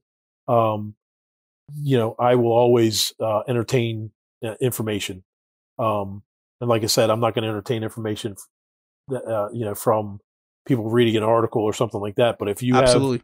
have uh, some some e- evidence, or in this case, we don't have much evidence, but I think it's it's going to be mostly uh, things that people hear uh, about what happened. Or somebody, somebody says, says yeah, something. or s- Then that would be great. Well, and you know, just to put it out there, as far as everyone's concerned, Wayne is innocent until proven guilty in a court of law.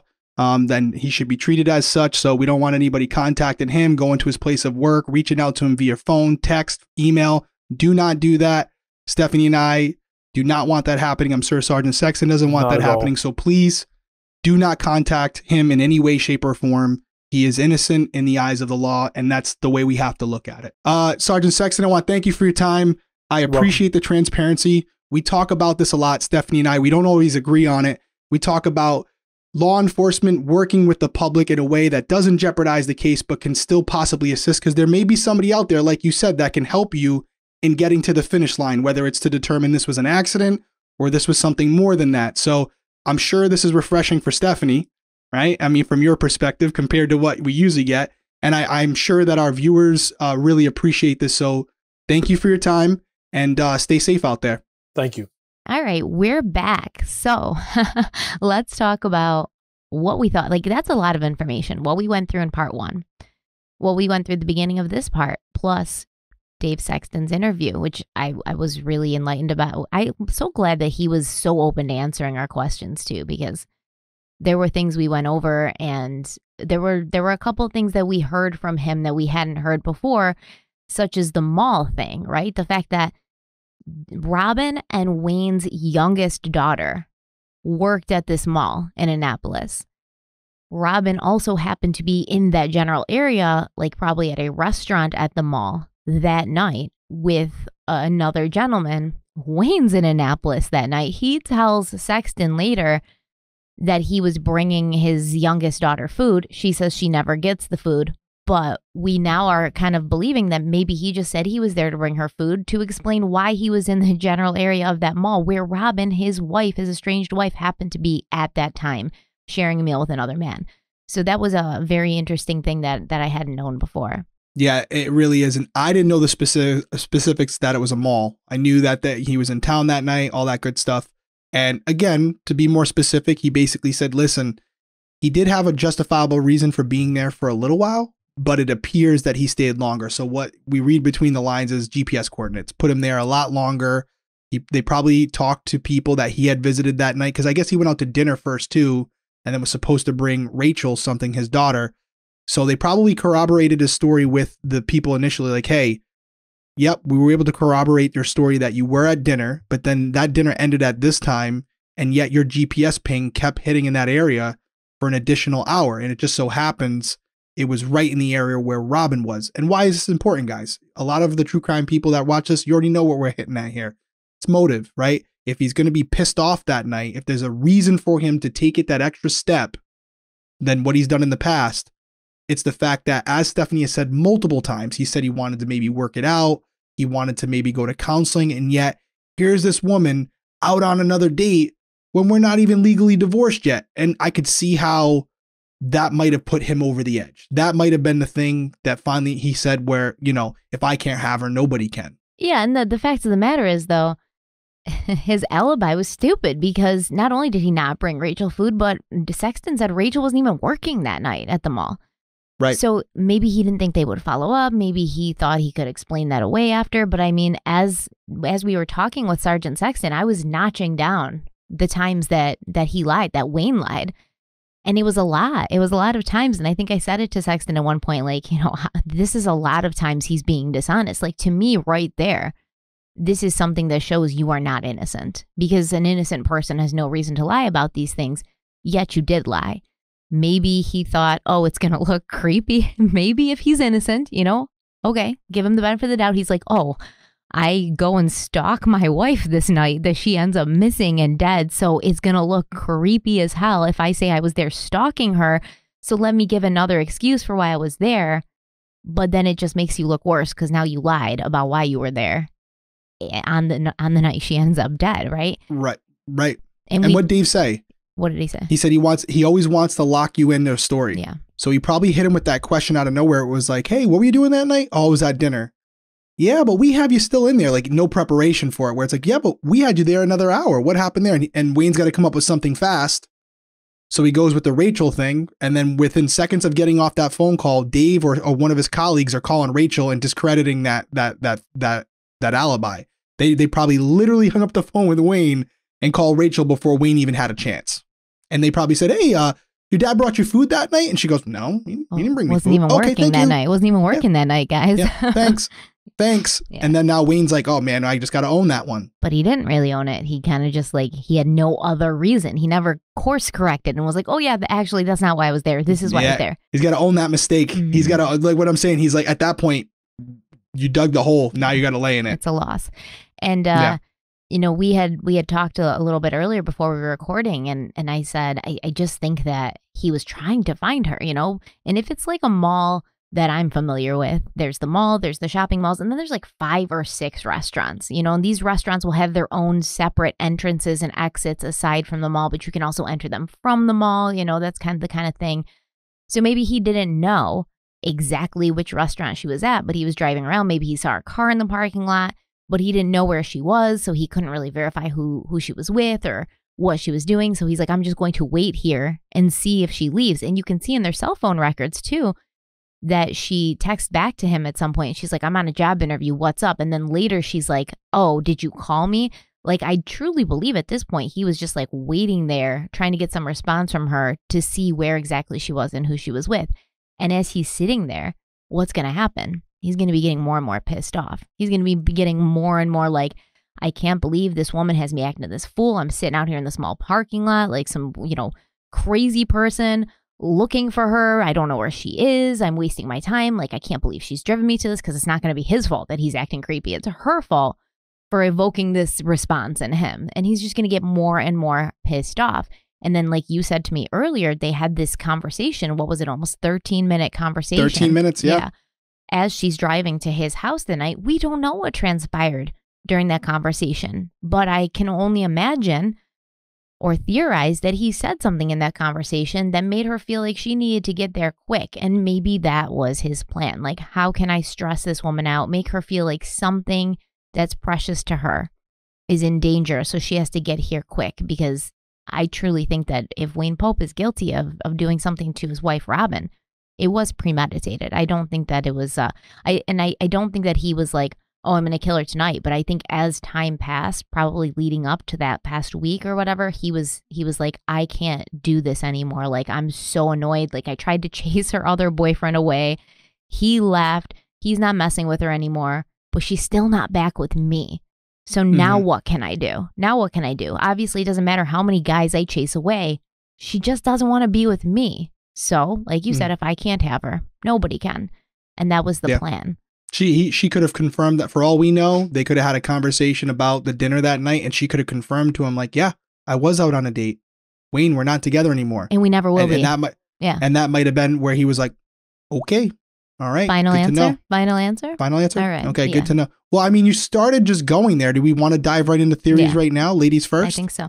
Well, Let's just do it. I think I think my theory's been pretty clear from the start. I do believe that whatever happened to her, if Wayne was responsible, he lured her there using her dog Bella. I even had talked to you about some theories previously because she gets to his house, he's not answering the door, and Sergeant Sexton said he's done things like that before to her in the past because I didn't know that either. This wasn't the first time that he had asked her to come over, or she had said that she was going to come over, and then he just didn't answer the door. This is his way of exerting control over her treating her like a pawn. He no longer has control of her as a husband or a romantic partner. Like, but how can I still affect her? How can I still like control her with my with my words, with my um, behavior? So he would just have her come over and then not answer the door. And I wonder if he was already outside when she got there and she couldn't find him and he wasn't answering the door and maybe he was in the back already because their their house butted up right against the water, right? So maybe he's got Bella out back and the dog's barking. So she goes around back to see, like, oh, I hear my dog back there barking. And he's like holding Bella over the water. And she's like, no. And she runs towards him. And that's when he strikes,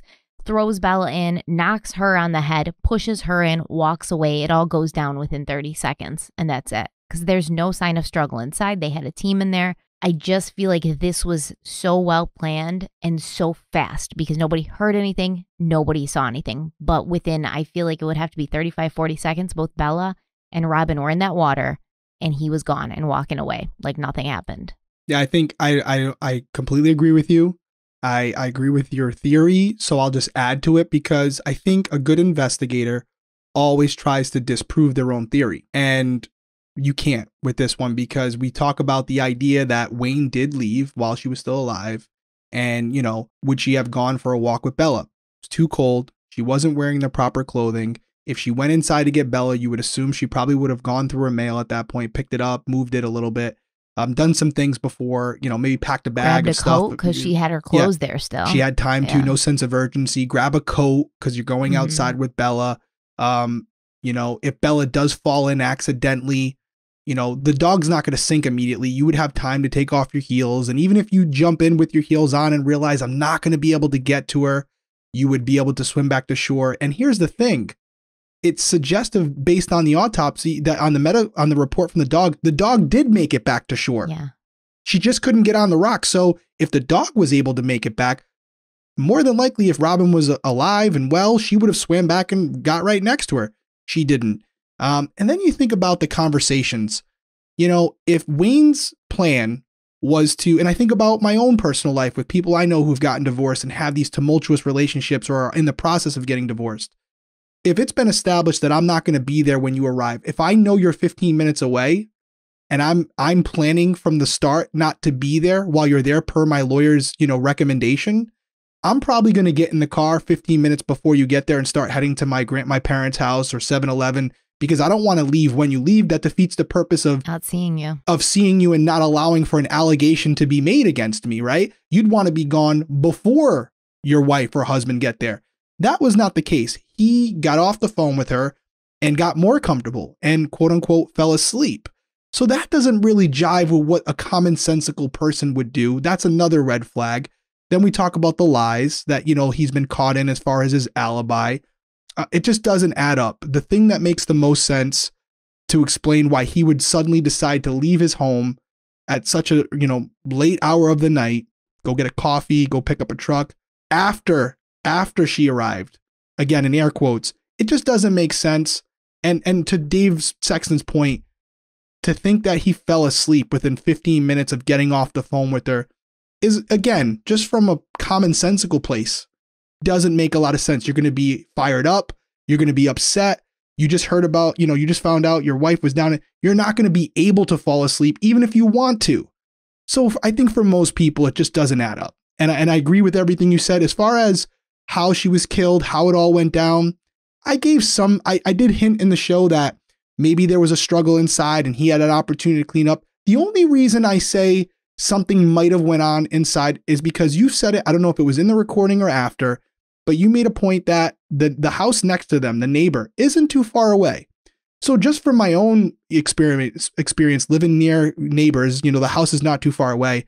When they argue, if they're outside arguing, whether I want to hear it or not, I can. And I would think that if Wayne was out there with Bella, Robin probably would have screamed, please, you know, Wayne, don't do it. You know, what are you doing? Like something that maybe someone would have heard. Now there's a possibility that did happen and no one heard it. But it just or, to me, the fact that or go ahead. like he didn't even give her that chance, right? Because maybe he, he's not answering the door, which we know, right? When he said he was yep, I- asleep. yes.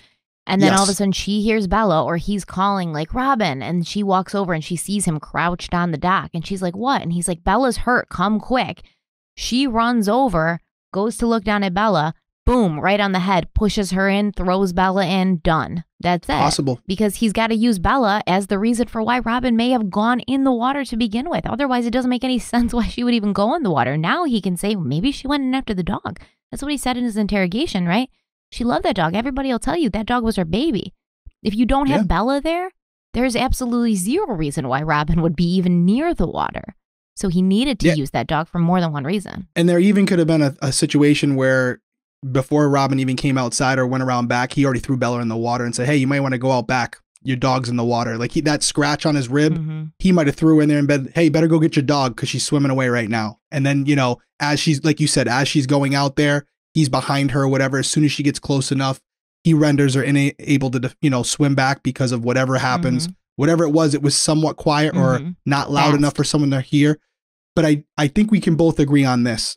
We've talked about it. She writes, Can I get my mail? Can I get my mail? Wayne never responds to her in text. I think you're under the same belief that the reason he doesn't respond via text is because at some point immediately after that, they do come in contact, physical contact. And and very shortly after that, whatever went down um, was quick and it didn't happen over a long period of time because of the time window we have. We know it whatever happened. Um, so I do agree. I think we both are on the same page that and, and Dave Sexton said this himself, Wayne knows what happened that night, you know, whether it was and he gave this qualifying answer that, you know, did she fall in the water accidentally and Wayne just didn't do anything to help her? Yeah, that's possible. It's possible. It doesn't matter. uh, That's still criminally responsible for cor- someone's death, yep. though. So yep. you're nope, still a so- murderer as far as I'm concerned. we don't know why it happened, but this is why we covered it on Breaking Homicide. This is why we covered it here on Crime Weekly, and um, it's a sad story all the way around So for sure. Just to clarify, like we both believe that Robin was dead in the water before Wayne Pope ever left to go swap his trucks and get his coffee. yes, yes. He, in my opinion, that um, hour where he said he was sleeping is when Yep. it happened, if it Yes. was going to happen. Right? And it, you know that that's the we believe again. This may be he may be innocent, but we believe that the reason for him leaving when he did was because whatever happened had already happened, and he realized if I don't leave, there's no window where that unknown person, quote unquote, unknown person could have done this, or it could have been an accident. Because if even if it was an accident, I would have been here and been able to render aid. Yes. And I mean, So he's got to leave. You all know, like, if you have dogs, and this is the one thing I couldn't get around with his whole "I was sleeping for an hour" thing. They had they had Bella there, and Robin's not gonna just like text him and be like, "Can I get my mail?" She's gonna walk up to the door. She's gonna knock on the door. She's gonna ring the doorbell. Bella would be barking like crazy. That's what dogs do when they hear somebody outside. It's what they're. I mean, somebody could walk by three miles from my house and my dogs start barking. There's no way that this guy is sleeping in the living room on the couch because he wasn't in his bedroom. He said he fell asleep on the couch in the living room. There's no way he fell asleep on the couch in the living room. Robin's knocking on the door trying to find out where the hell he is. Bella's barking and he's sleeping through that. Sleeping through Robin trying to get in, sleeping through his phone ringing or his phone getting text from her, sleeping through Bella barking because somebody's mm. outside knocking on the door. There's no way. Yeah. So the whole I fell asleep for an hour thing, that that's a lie. so Yeah. And I don't even believe the aspect that Robin fell asleep. I don't think she would fall No. asleep just randomly. no. So that he needs to say that though, because if she was awake, she would have kept texting him, Mhm, right? Exactly. Or she would have, you know, reached out in some so- way. right. She would have kept texting him like, "Why aren't you answering? Why aren't you answering?" No, what happened was she wrote, "Can I get my mail?" and then he answered. He, he they they came in contact with each other, but he had to put that in there that oh, she spontaneously developed a case of narcolepsy as well at the exact same time as me. And that's why it took a little while before I left the house. No, it took you a little while to leave the house because you had to make sure you had your ducks in a row before leaving. You had to kind of think about what you were going to do and how you were going to do it before carrying it out. Allegedly. Uh, really interesting case. Allegedly, yes, of course. Again, we have to say it for legal reasons, guys. I know you get sick of hearing it, but we also would like this show to continue. So we gotta, we gotta, and it is the truth. He is innocent until proven guilty in the court of law. He may never be charged with anything based on what we know now, but you know, at the end of the day, I think you know, Dave has said it. We have said it. There's more evidence that suggests something nefarious than this being an accident. That's all we're saying here. I definitely feel like the whole alibi was a lie, though. So Yeah, right I mean, from that- the get go, it's a bad, it's kind of a bad situation for Wayne in in the Right. eyes of everyone who has a brain, right? so taken to everything, right? You talked about the polygraph and how you wouldn't take it, but taking the the lies and the alibi, the unwillingness to take the polygraph, inconsistencies with what he did that night as far as coming back from 7-Eleven and going to the friend's house within like 10 minutes of like and already knowing she's missing. Um, Following her to fact that he- Annapolis that night. right, being in Annapolis, having this un, this injury on his ribs that he again lied about Mhm. was not true how he sustained it. And by the way, about the injury, I'm reading all the comments. Stephanie's reading the comments. I see a lot of you people who have experience with Great Danes and other animals that are large of size. Some people actually work in the field. You've all said that injury is very consistent with a dog that's being picked up, that doesn't like to be picked Mhm. up, and kicking away with its hind legs because it's like, what are you doing? I'm 100 pounds. You never pick me up like this. This is uncomfortable. Let Wayne, you go. don't even like me. Why are you touching me, man? Right. Could have scared could have scared her or whatever. So you guys have all leaned towards that, and I'm leaning towards it as well. And that would support the theory that he doesn't have any defensive wounds because whatever happened was there was an element of surprise. It happened quick, and she didn't have a chance to defend herself because she didn't see it coming. And I mean, to be fair, how could she see it coming? As far as we know, Wayne was verbally abusive, emotionally abusive, but he, none of her friends, none of her family have ever said he's physically abusive, nor are there any reports of domestic violence or domestic issues that the police have had to go to. So, as Robin, yeah, you know this guy. He's not the nicest guy, but no one thinks that the person you've been married to for 20 plus years is going to kill you out of the blue. No one goes into that thinking. So she's going into it thinking he's a dick. You know, I'm scared to leave my dog with him because I know he would do something to hurt me. But nobody's thinking, oh, you know, he's going to kill me tonight because you've you slept next to this man for 20 years. That's you shouldn't have to think that. So, yeah, there's always going to be an element of surprise there for her because as much of a dick as she knew he was, she never thought I think that he would go that far. I don't think Th- anybody this did. point, well, it's amazing what people will do. You know, when they finally snap. You know, you you just never know. That's why you always got to be cautious. You know, not the best idea to go out there. And again, we always try to put a, a pot, you know, a spin or learning something you could take from this. And if you're going through a situation like this with a loved one, regardless of how long you've known them, and Robin did nothing wrong in the situation, she was actually going out there to get a post hole digger, her mail, see Bella. She had very good reasons for going out there. Um, but you know, if you're going through a situation with a loved one, it's better. It's a better choice to bring someone Mhm. not only for the sake of like making sure nothing happens, but also just having someone there as a support system, you know, because it could get hostile. And if if he does have or she does have any bad intentions, having another person there, even if they're waiting in the car, is not going to allow them to to carry that out without being caught because you have a unbiased witness there who's going to say, no, that that's not what happened. So if you can, and maybe in this case she she obviously couldn't, try to have someone with you or choose to go at a different time. And I'll tell you this, a lot of people don't know this. Don't be afraid to annoy the police. We do it Mhm. all the time. Even if you can't get a friend or family member to come with you, call the local police department and say, "Hey, I need an officer present to keep the peace."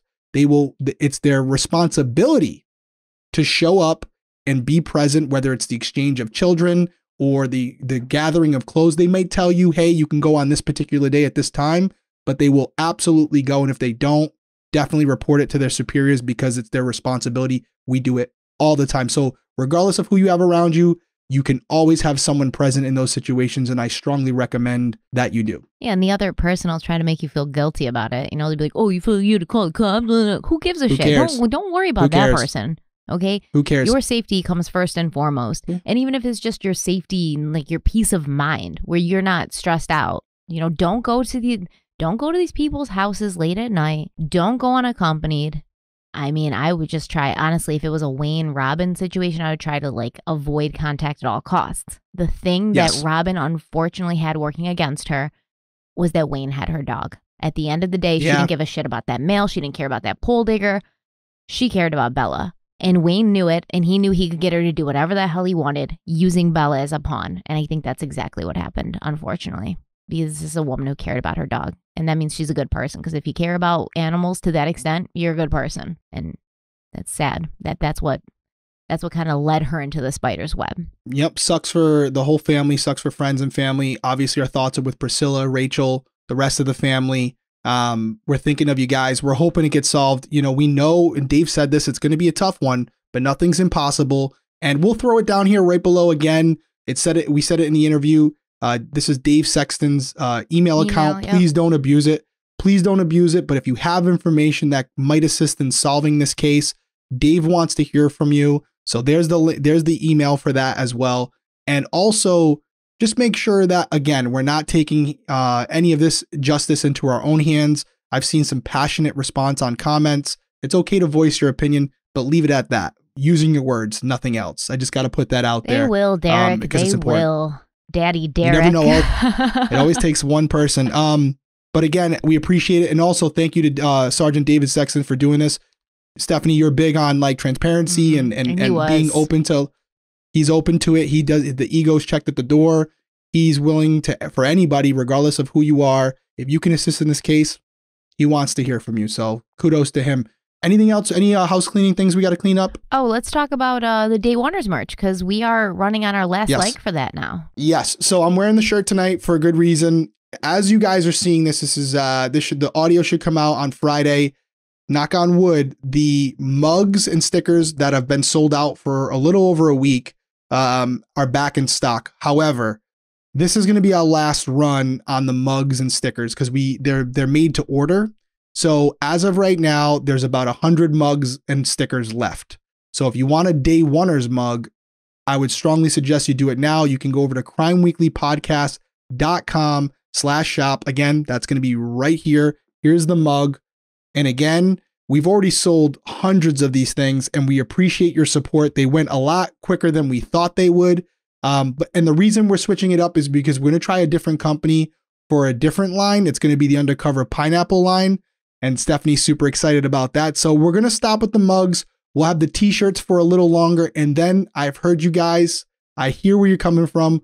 We're going to switch these over to black too. I know Stephanie's happy about that. Yeah, so happy. I'm not good with white. So we're gonna have all when we do our um, undercover pineapple merch. My headphones were off for like a minute because I was struggling to get my sweatshirt off. You should have saw her struggling to get the sweatshirt off as I, am was talking. It was dying funny. over here. It's like our AC's broken. It's a literal heat wave. Like I have been so hot, but yes, we're gonna have all different colors for the undercover pineapple merch. So I'm super excited because I'm gonna pick out all the colors and everything, and uh, we're pumped. We're we're pumped to bring it to you, and we're pumped to wear it. So thank you guys so much Yeah. for being here. Absolutely. Appreciate all the support. You guys have been amazing. The channel is growing faster than we could ever have imagined. We appreciate all the positive comments, the reviews. And if you haven't already, if you're watching this on YouTube, please like, comment, subscribe. It really does. From what Stephanie's telling me, it helps the algorithm. It gets more eyes on our episodes. And that's ultimately what we want. We want to spread these cases as far as we can because there's a lot of people out there who don't know the Robin Pope cases of the world. So that's the point of this. We're hoping we can help and we're hoping we get some good news down the road. Thank you guys so much, and we will talk to you next week. Bye. Take care.